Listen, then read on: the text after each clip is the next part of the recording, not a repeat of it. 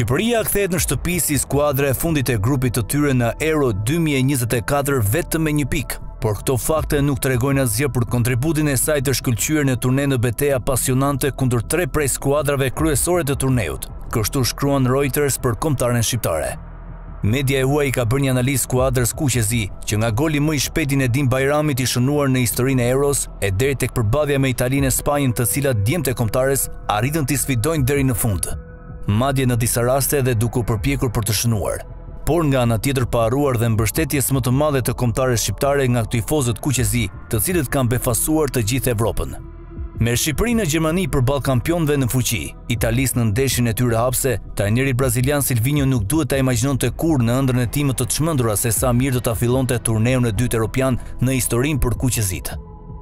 Nga nisja e ndeshjes, Shqipëria bëri tre pasime, Italia gaboi nga rivënia dhe Nedim Bajrami u hodh për të goditur topin duke shënuar vetëm pas 23 sekondash lojë dhe duke realizuar golin më të shpejtë në historinë e Euros. Një gol që ndezi festën në mesin e dhjetëra mijërave tifozëve të veshur kuqezi në Dortmund. Kaos në bare dhe shtëpitë e kryeqytetit shqiptar dhe një moment i pavdekshëm për kombin krenar ballkanik. Italia më pas shënoi dy gola, por Shqipëria i mbajti nën presion deri në fund.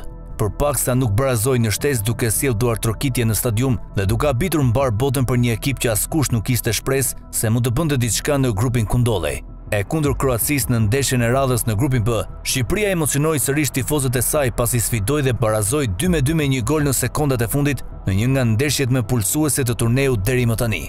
Shqiptarët u shfaqën më të përmbajtur në ndeshjen e tyre të tretë, në një humbje të ngushtë 1 me 0 ndaj Spanjës, por gjithsesi i dhanë kundërshtarit të tyre shumë momente të pakëndshme ndërmjet Jasir Asanit dhe Kristjan Asllanit. Federata ambicioze e futbollit të Shqipërisë shpreson që përvoja në Gjermani t'i ndihmojë për të ardhmen, me paraqitje më të rregullta. Një gjë për të cilën mund të jenë të sigurt shqiptarët është mbështetja e jashtëzakonshme. Shumë ishin të befasuar kur panë shqiptarë në numrin më të madh se italianët në ndeshjen hapëse, dhe kjo vazhdoi gjatë gjithë kohës, zhurma dhe ngjyra të tifozëve kuqezi përputheshin me numrin e madh të tyre. Disa erdhën nga shtëpia e disa të tjerë nga diaspora globale shqiptare, shkruan ndër të tjera Reuters.